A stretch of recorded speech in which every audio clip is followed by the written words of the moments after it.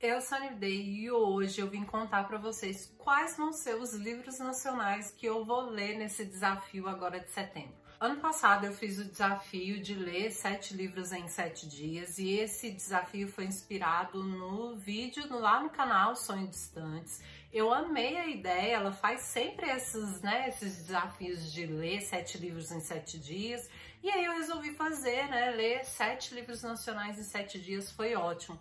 Eu li muita coisa boa, muita coisa bacana. Só que esse ano eu tô meio corrida, assim, ó, as coisas na escola estão bem corridas lá, então acaba que eu sei que eu não vou conseguir ler. Eu até poderia roubar, né, e ler, tipo, contos curtinhos, algo assim, mas eu não quero fazer isso, sabe? Eu quero aproveitar esse momento e juntar esse desafio de ler nacionais com um outro, que é ler os ganhadores do prêmio Kindle.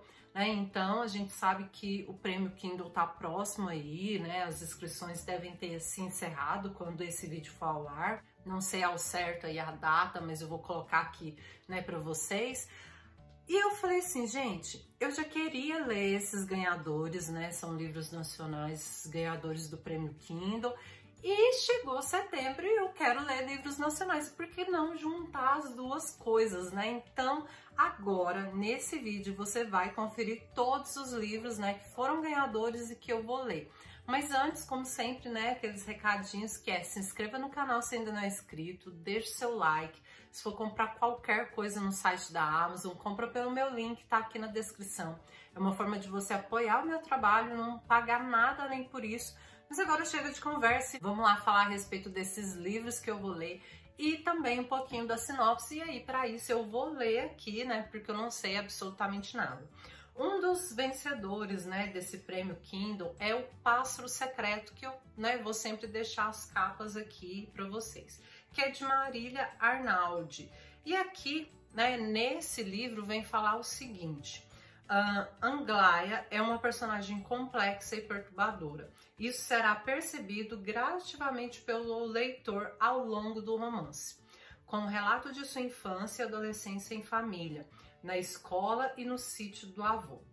Anglaia, uma menina sensível e solitária, de rara inteligência, apaixonada pelas tragédias de Shakespeare, pelos poemas de Cecília Meirelles e canções de Renato Russo. Aos 13 anos, teve a sua vida virada de ponta cabeça com a chegada inesperada de uma meia-irmã, filha de seu pai, cuja existência era desconhecida. Eu não vou ler o restante, né? Vou ler sempre só um pedacinho, só o começo da sinopse, mas esse é aí um dos vencedores do prêmio Kindle e que eu vou ler agora esse mês. Dias Vazios, da Bárbara Nonato, é outro que foi ganhador aí, né, do prêmio Kindle. E aqui vem falar o seguinte, ó, ele foi vencedor da quarta edição, né, do prêmio Kindle de literatura. Eu não falei lá do outro qual foi, né, mas deixa eu ver se tem aqui.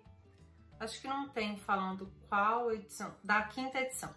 O Pássaro Secreto foi ganhador da quinta edição e esse Dias Vazios é a quarta edição, então. E aqui diz o seguinte: após sofrer um acidente que a deixa em coma, Rebeca acorda sem se lembrar de nada.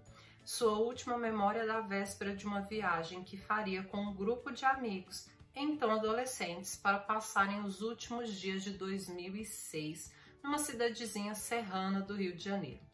Porém, isso já faz 12 anos. Nesse período, o laço que uniu os jovens se esgarçou e cada um seguiu seu caminho, menos Rebeca, né, que ficou encapsulada no tempo e agora precisa preencher o vazio da sua história a partir de visitas ao passado e a episódios que envolvem aquelas pessoas parece ser bem interessante. Talvez esse seja até o primeiro que eu vou ler aí, né, nesse mês. Eu não tô colocando em ordem, né, que eu vou ler, mas esse provavelmente é um dos que me interessou muito. Filha Primitiva foi vencedora da sexta edição do Prêmio Kindle e aqui diz o seguinte: uma história de amor e ódio, violência e redenção. Ambientada em Fortaleza, a Filha Primitiva traz luz e sombra para uma geração de mulheres avó, mãe e filha, unidas pela dor e pelo abandono, separadas pela fé, pelo ceticismo e pelos segredos que guardam. Uma avó negra que esconde quem é o pai da filha, uma mãe branca que escreve para preencher as lacunas de sua vida e rejeita a maternidade. Uma filha que recebe a raiva de mãe para filha e já nasce sentindo a dor de ser mulher. Uma ficção imersa numa crueza de linguagem calcada no real que transforma uma história de ancestralidade em grande literatura. Nossa, gente, agora eu fiquei em dúvida, porque esse também parece ser assim, um livro muito interessante, daqueles que eu vou amar. Né? Então, vou deixar o link de todos esses livros também aqui na descrição, se você também quiser ler, né? Todos eles estão disponíveis no Kindle Unlimited. Só tem um que eu não vou ler, né, que foi ganhador desse prêmio também. Esse não está disponível no Kindle Unlimited, então todos os outros estão disponíveis e eu vou ler agora em setembro. O outro livro que está aqui na minha tibiara é o Memorial do Desterro. Esse é um livro de Mauro Maciel, foi ganhador da segunda edição do Prêmio Kindle. E aqui diz o seguinte: Nessa narrativa, um renomado escritor que há 20 anos não escrevia e que residia em uma vila de pescadores do Nordeste brasileiro vê-se impelido a voltar para a cidade que abandonou para providenciar o sepultamento de seu inquilino o qual fora encontrado morto ao lado de um barco à vela, às margens de um rio, na fictícia cidade de Santa Maria do Mar Revolto, no sul do Brasil. Com o morto, apenas uma carta foi encontrada e ela estava endereçada ao seu escritor preferido. Identificado como irlandês, o falecido inquilino permanece insepulto durante vários dias sem que nenhum parente, amigo ou vizinho manifeste interesse em providenciar o enterro. Então não vou ler mais, né? A sinopse é bem grande, mas é a respeito disso e também é um livro que me chamou a atenção. E olha, ele é bem curtinho, ele tem 191 páginas, então deve ser assim, ó, bem bacana de ler. Aqui tem outras informações também, que é o fato de ser a faixa etária de 15 a 18 anos, né? Parece um livro bem interessante. Então talvez eu vou gostar assim de praticamente todos esses livros, né, ganhadores desse prêmio.